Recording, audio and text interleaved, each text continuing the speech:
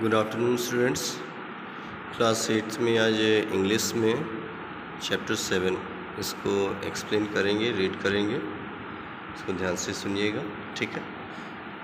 Everyday heroes दैनिक जो hero हैं हमारे, उनके बारे में बताएँगे।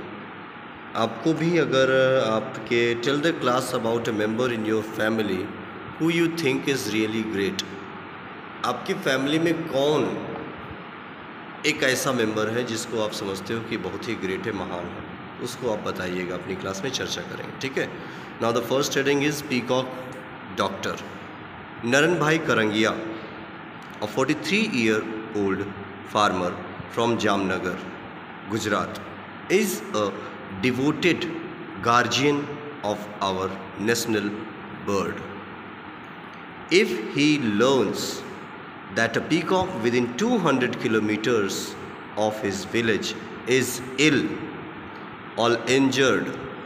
He rushes to the bird on his motorcycle with vitamin drops, medications, and bandages.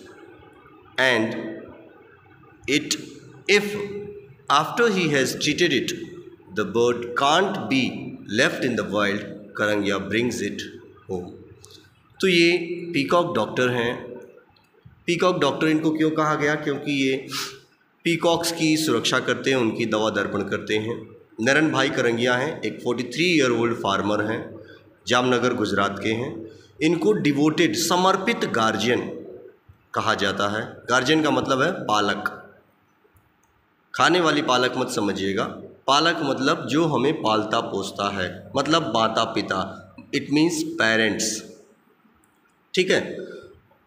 अगर उनको पता चल जाए 200 किलोमीटर दूर भी अगर उनके गाँव से कोई पीकॉक बीमार है या उसको चोट लग गई है और इनको पता चल जाए तो ये अपनी मोटरसाइकिल में विटामिन, ड्रॉप्स, मेडिकेशंस और बैंडेजेस, दवाइयाँ लेकर के वहाँ उस स्थान पर पहुँच जाते हैं और उसको ट्रीट करते हैं बर्ड को। और अगर इनकी ट्रीटमेंट के बाद बर्ड जंगल में छोड़ने लायक नहीं होती है तो करंगिया इसको अपने साथ अपने घर ले आते हैं। What do you think Karangiya does after bringing the peacocks home आप क्या सोचते हो ये क्या करते होंगे? जब इनको अपने घर ले आते हैं तो उसके बाद क्या करते होंगे? Every year after the harvest प्रत्येक साल जब फ़सल घर पर आ जाती है, उसके बाद क्या होता है? When food for wild peacocks is scarce scarce means बहुत ही कम। जब वाइल्ड जो जंगली पीकॉक्स होती हैं, मोर होते हैं, मयूर होते हैं, उनके लिए भोजन बहुत ही कम हो जाता है। Karangiya set up centres in village villages where the birds are looked after and fed Karangiya ने गाँव में एक सेंटर खोल रखे हैं, जहाँ पर इन पक्षियों का संरक्षण होता है, उनकी देखभाल होती है और इनको भोजन भी प्रदान किया जाता है। एंड ड्यूरिंग अ फ्लड एक फ्लड के दौरान बाढ़ के दौरान एक समय फ्यू ईयर्स अगो कुछ साल पहले, Karangiya spend two days looking for peacocks marooned on the treetops दो दिन तक पेड़ों के ऊपर पीकॉक्स की सुरक्षा की करंगिया ने। ही सेव्ड अ डजन उसने एक दर्जन पीकॉक्स को सुरक्षित किया या उनकी रक्षा की। आई लव पीकॉक्स मैं पीकॉक्स को पसंद करता हूँ या उनसे प्रेम करता हूँ या वो मुझे अच्छी लगती हैं। सेज करंगिया करंगिया कहते हैं। I want to help as many as I can और मैं मदद करना चाहता हूँ, जितने ज़्यादा से ज़्यादा पीकॉक्स की मदद कर सकूँ। So this is the first everyday hero Narman, Naran bhai Karangiya और पीकॉक डॉक्टर ठीक है? नाउ अब जो नेक्स्ट हीरो हैं, आज के हमारे इस वीडियो के, वो हैं अ नोट वर्दी सिंगर एक बहुत ही पॉपुलर प्रचलित महत्वपूर्ण गायक हैं। अभिजीत भट्टाचार्य, जिसकी तस्वीर आप देख रहे होंगे। अभिजीत भट्टाचार्य हिंदी प्लेबैक सिंगर हैं और वो रिटर्न हो रहे थे अपने घर, वापस आ रहे थे शूटिंग से। सबब मुंबई में शाम को थोड़ा सा देर हो गई थी। He when he saw people gathered around a man lying in a pool of blood जब उन्होंने देखा कि एक व्यक्ति खून के तालाब में सना पड़ा हुआ है और उसके चारों ओर लोग इकट्ठे हैं। Asking his driver to stop अपने ड्राइवर को रोकने के लिए कहते हैं, Abhijeet found the injured man unconscious and bleeding heavily Abhijeet ने पाया कि जो घायल व्यक्ति है, वो बेहोश है, बेसुध है और बहुत अधिक उसके खून निकल रहा है। A young well dressed couple in the crowd told crowd में, भीड़ में से एक बहुत ही अच्छे प्रकार के कपड़े पहने हुए एक नव युवक का जोड़ा था।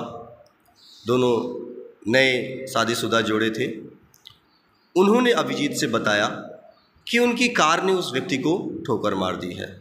दे वो अपसेट अब वो अपसेट हैं, उनकी समझ में नहीं आ रहा है। And didn't know what to do और वो नहीं समझ पा रहे हैं कि क्या करें। अभिजीत को उन्होंने बताया टेकिंग चार्ज अब इस चीज़ पर अभिजीत अपना पूरा दारो मदार लेते हैं और कहते हैं ही टोल्ड हिज चॉफर उन्होंने अपने ड्राइवर से कहा to drive the couple to the nearest hospital couple को नज़दीक के हॉस्पिटल में ले जाने के लिए then with the help of the bystanders फिर जो आसपास लोग खड़े थे, उनकी मदद से carefully place the injured man in the couple's car फिर उस इंजर्ड मैन को कपल की कार पर बैठा करके,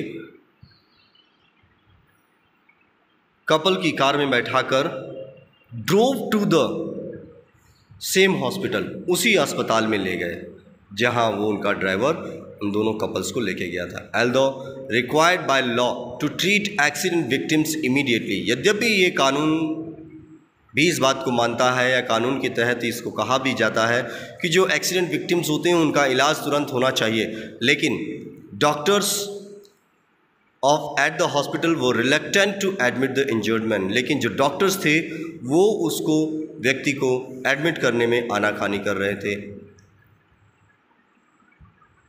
इट टुक टेन मिनट्स और इसमें दस मिनट लग गए अभिजीत को उनसे। बहस करने में रैंगलिंग बहस करने में at the for Abhijeet to get them to agree उन लोगों को डॉक्टर्स को एग्री करने में अभिजीत ने बहस की और उस बहस में उन्हें दस मिनट का समय लग गया।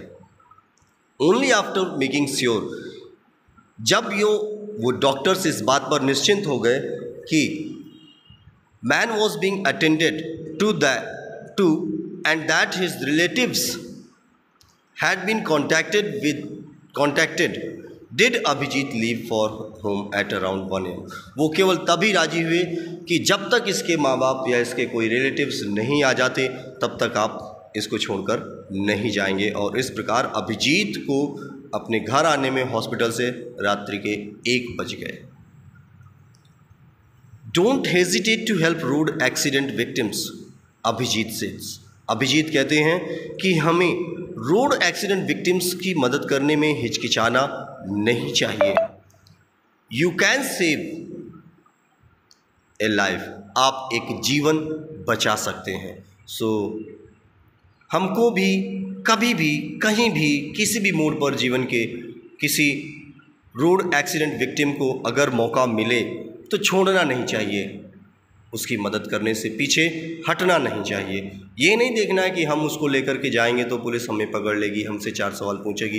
अरे पूछेगी तो पूछने दीजिए। But please try to save her और हिम उसकी ज़िंदगी बच सकती है आपकी थोड़ी सी दया से।